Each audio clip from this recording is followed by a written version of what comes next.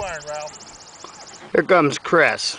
Second shot on six. He's shooting right-handed on this one, playing away from the tree. And what a fabulous two iron shot. Hit that tree. Hit that tree.